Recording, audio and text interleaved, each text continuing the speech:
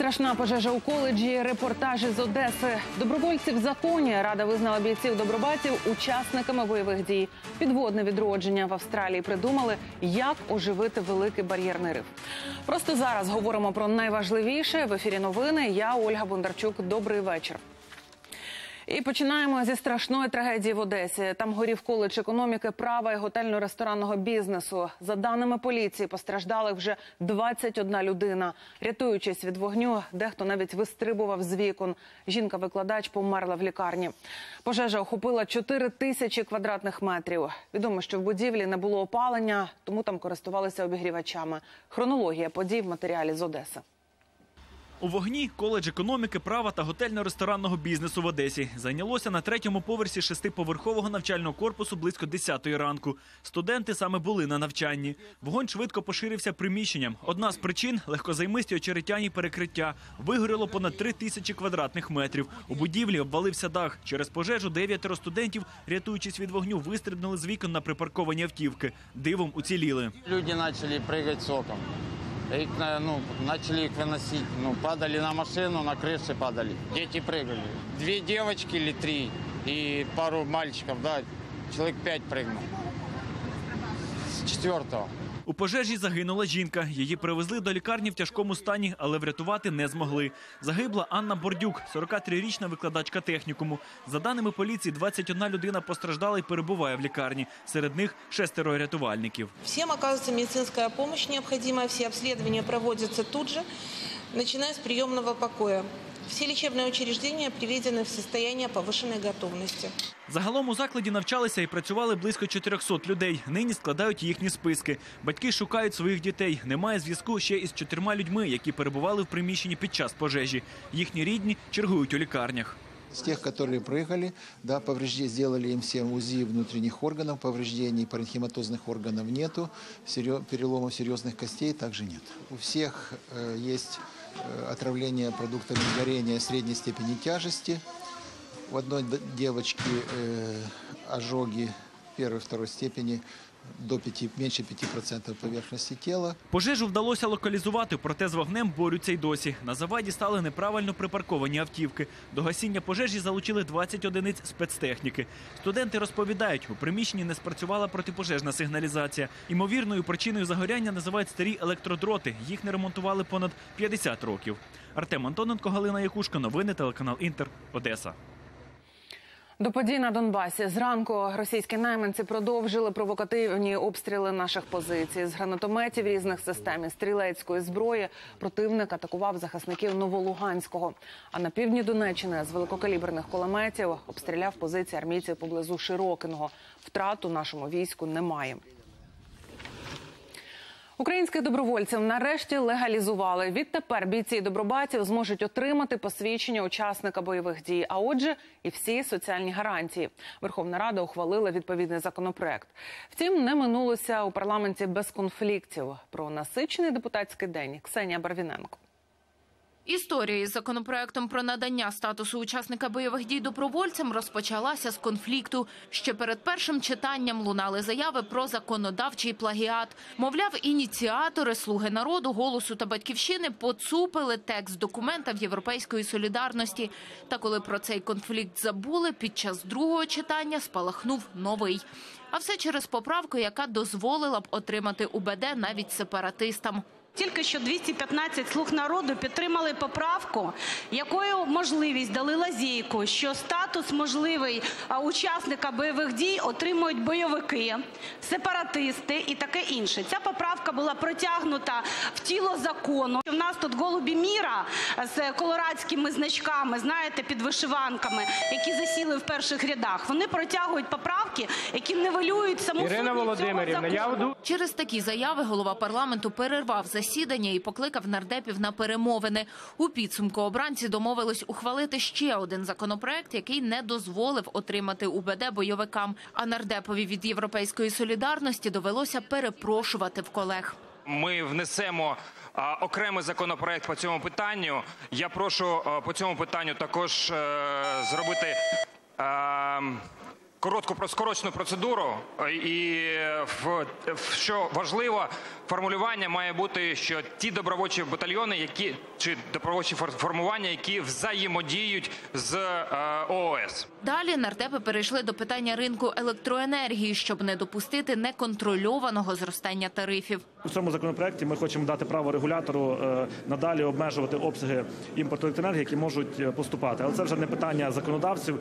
Е, Ми не регулюємо оперативних питань. Ми хочемо дати таке право регулятору. Регулятор буде мати право, скажімо так, такі речі регулювати. Якщо в нас достатньо своїх працюючих генеруючих потужностей, якщо в нас достатньо свого палива, тоді імпорт е, регулятор буде обмежувати. Якщо це для конкуренції потрібно, щоб е, з Білорусію також е, трейдери працювали, то регулятор буде це дозволяти. Також цей законопроект забороняє імпорт електроенергії з Росії, хоча фракції не надто вірять у дієвість таких заборон. Цим законопроектом вони роблять красиву гру, коли забороняють імпорт російської і білоруської електроенергії, але за особливими дозволами кабінету міністрів знову це узаконюють. Ксенія Борвіненко, Максим Чеблін. Новини телеканал Інтер. Два місяці під вартою без права внесення застави. Шевченківський суд Києва відправив під арешт двох підозрюваних у вбивстві трирічного сина депутата Київради. Засідання проходило в закритому режимі. Батько дитини розповів, що отримував погрози протягом чотирьох років і закликав правоохоронців перевірити своїх недругів на детекторі брехні. Нагадаю, в неділю ввечері у середмісті Києва обстріляли автомобіль В'ячеслава Соболєва. Він саме їхав зі своєю родиною, і куля влучила в його трирічного сина. Хлопчик помер дорогою до лікарні. Підозрюваних правоохоронці затримали вже наступного дня. Це двоє молодиків 18-19 років Андрій Лаврега і Євген Семенов. Обидва раніше добровольцями воювали на Донбасі. Я с большим уважением к полиции, что они в течение суток так включились и сделали свою работу. У меня только к ребятам, полицейским будет одно предложение. Я готов предоставить список фамилий, которых, на мой взгляд, нужно просто посадить на детектор лжи. До Києва їде представник держдепу США. Виконувач обов'язків помічника держсекретаря Філіп Рікер пробуде в столиці до п'ятниці. Зустрінеться з командою американського посольства і першими особами України. Повідомляє прес-служба Державного департаменту Сполучених Штатів. Серед іншого говоритимуть про військову допомогу Києву і підтримку суверенітету нашої держави.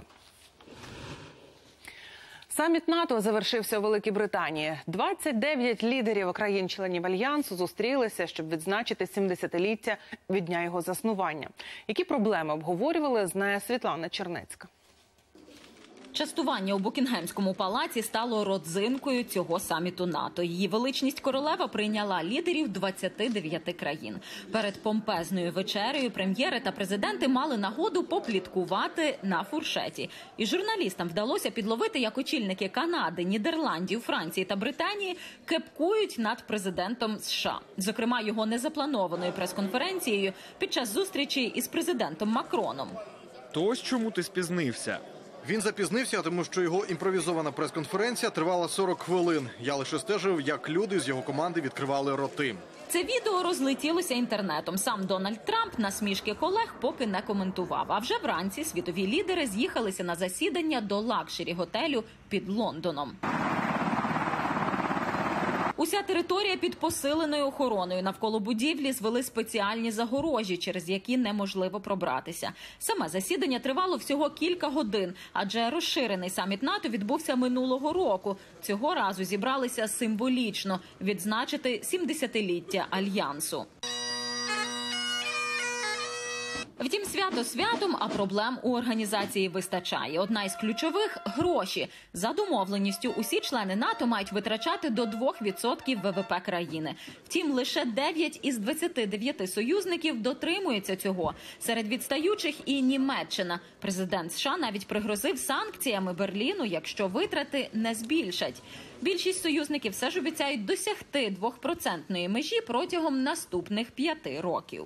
Ми бачимо прогрес, якого досягає чекають союзники в плані розподілу фінансового навантаження. Від 2016 року європейські союзники та Канада додали 130 мільярдів доларів до оборонного бюджету. У 2024-му ця сума зросте до 400 мільярдів. Це безпрецедентно, і це робить НАТО сильнішим. Окрім фінансових питань, обговорили боротьбу з тероризмом, стосунки із Росією та зростання військової сили Китаю. Історія свідчить, що мир не можна сприймати як належне, і ми мусимо зробити все, щоб наші слова відповідали нашим діям. І ніколи не варто ухилятися від обговорення нової реальності, особливо щодо відповіді НАТО на такі загрози, як гібридна війна та підривні технології, зокрема в космосі та кіберпросторі. Представлений на саміті і Київ, незважаючи на те, що Україна не є членом НАТО. Міністр закордонних справ має доволі напружений графік, адже не лише бере участь у подіях, організованих на полях саміту, але й щедро роздає інтерв'ю в міжнародній пресі. Я тут, щоб нагадати, що ми намагаємось стати членами НАТО вже майже 30 років, і незважаючи на війну, ми тримаємося свого курсу. Київ дійсно доволі активно співпрацює з НАТО у ролі асоційованого члена. Наступного тижня у штаб-квартирі альянсу відбудеться одразу кілька засідань робочих груп, зокрема для підготовки програми співпраці на наступний рік. Світлана Чернецька, Юрій Романюк. Новини британське бюро телеканалу Інтер. Двох співробітників російського посольства в Берліні видворили з країни і оголосили персонами нон-грата. Про це повідомили в німецькому МЗС. Дипломатів підозрюють у причетності до вбивства громадянина Грузії наприкінці серпня цього року. Злочин скоїли в парку поблизу Бундестагу і офісу канцлера. Убитий Зелімхан Хангошвілі був польовим командиром під час чеченської війни. А 2008-го воював на боці Грузії під час російського вторгнення до південної Осетії. Убивця поцілив Хангошвілі в спину і в голову. Зловмисником виявився росіянин. Його згодом затримала поліція. У Кремлі причетність до злочину заперечують.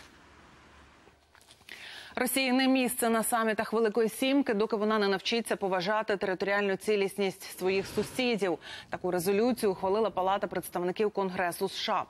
Документ закликає лідерів країн G7 виступити проти повернення Федерації до міжнародного клубу, доки Москва не припинить окупацію України і не поверне Крим. Раніше Дональд Трамп уже висловлювався за відновлення участі Росії в самітах G7 і, зокрема, запрошував Москву на наступну зустріч, яка відбудеться в його резиденції у червні наступного року. Позов на півмільярда черговий політичний скандал у США. Конгресмен, задіяний у процедурі імпічменту, вимагає в суді 435 мільйонів доларів компенсації від телекомпанії CNN. Стверджує, що провідне світове змі дезінформувало глядачів з приводу української справи. Про що саме йдеться? Дмитро Анопченко розповість. Девін Нуньєс – ключовий республіканець в Конгресовому комітеті з розвідки. І якщо вся країна знає голову Адама Шифа як запеклого обвинувачувача Трампа, то Нуньєс, так би мовити, головний адвокат, який кожне слово свідків ставить під сумнів. А тепер CNN опублікувала сенсацію, пояснивши, чому мовляв, конгресмен тому і відстоює Трампа, що особисто, нібито замазаний в його брудних схемах, і сам на прохання команди першої особи, начебто, шукав компромат на Байденів. Минулого грудня Девід Нуньєс, старший республіканець, і головуючий на слуханнях щодо імпічменту, їздив до Відня і зустрічався з Віктором Шокіним. Тобто Девід Нуньєс на слуханнях каже, це божевілля стверджувати, що президент хотів, щоб Україна розслідувала справу Байдена, а прокурор, який у центрі цього конфлікту, Так, зустрічається з Нуньєсом минулого грудня. так, правильно. І здавалося, кар'єрі політика тепер прийде кінець. Тим більше, що він витримував паузу і відмовився говорити із репортерами CNN, заявивши, не буде їм нічого коментувати ані в цьому, ані в наступному житті. Але зараз відповів по-іншому. Подав позов до суду, вимагаючи від CNN 435 мільйонів доларів за наклеп. Стверджує, що у 2018-му не був ані у Відні, ані в Австрії, та й взагалі мало з країни виїжджав. Був лише в Лівії і на Мальті в складі делегації конгресу. У позові також йдеться, що із Шокіним він теж ніколи не зустрічався. Для репутації телекомпанії це серйозний удар. А головне, цей позов дасть можливість і іншим республіканцям, і самому Трампу тепер говорити, мовляв, подивіться, що відбувається. Преса дійсно бреше. Ось прямий приклад. А значить, і все інше теж може бути неправдою. У справі про імпічмент тим часом почався новий етап. Свої слухання від сьогодні має конгресовий юридичний комітет, якому належить підготувати проєкт резолюції про відсторонення Трампа від влади. Цей документ потім в залі поставлять на голосування. А комітет із розвідки, той самий, де і автор гучного позову, конгресмен Нуньєс працює, напередодні закінчив і затвердив свій звіт, в якому президента звинувачують в тому, що він поставив свої інтереси вище державних і по суті вимагав від України втрутитися в американські вибори. При цьому в доповіді спеціально підкреслюють, Київ не звинувачують, і американський конгрес продовжить надавати рішучу двопартійну підтримку Україні. З Вашингтона Дмитро Анопченко, Сергій Коваль, американське бюро телеканалу Інтер. Понад 100 мільйонів гривень заборгували за тепло рівняни. Підприємство, яке обігріває місто, вже практично не має чим розраховуватися за спожитий газ. Тож опалювальний сезон під загрозою зриву. Щоб цього не сталося, боржникам почали перекривати батареї. Як це роблять? Дивіться далі. У цій багатоповерхівці на вулиці Макарова в Рівному п'ять квартир заборгували за тепло загалом понад 100 тисяч гривень. Тож тепловики вирішили просто вимкнути неплатникам опалення. Будемо заходити в під'їзд, де їхні вузли в воду і тимчасово обмежувати їхнє споживання. Такому, як тут теплопостачання, це горизонтальне розведення теплоносія, то сусіди не будуть страдати. Інспектори обходять квартири у Леоніда Борг майже 30 тисяч гривень. То, що заробляв правдами, неправдами, сплачував потихеньку, як тільки міг. Ну, а на даний момент так сталося, що взагалі не можна було платити. Леонід запевняє, що нині вже заробляє і показує довідку, що служить за контрактом в армії. Саме приїхав у відпустку і готовий погасити борги. Я до кінця року полошу заборгованість. Військовослужбовцеві повірили, тож не залишили його родину з трьома дітьми серед зими без тепла. У багатьох квартирах двері інспекторам ніхто не відчинив, а більшість шаф, де прокладено мережі, виявилися зачиненими на замок. У мешканця, який завинив понад 7,5 тисяч, трубу таки опломбували. пломбу, яка свідчить про те, що припинено, обмежено теплопостачання. До таких методів пояснюють у теплопостачальній компанії, змушені вдатися через великі борги. Ще за торічне тепло рівняни не сплатили понад 100 мільйонів гривень. Щоб не зірвати цьогорічний опалювальний сезон, підприємство взяло 30 мільйонів кредиту. Якщо цього місяця не буде достатньо рівня сплати, е, при всьому бажанні, чи будуть плакати, чи будуть просити, е, то в рівне теплоенерго вже ніяким чином на цю ситуацію не вплине. Нафтогаз просто перекриє газ, і опалення не буде ні в кого. Ті, хто справно платить за тепло, таку ініціативу комунальників підтримують, хоча й нарікають, суми нараховують непосильні.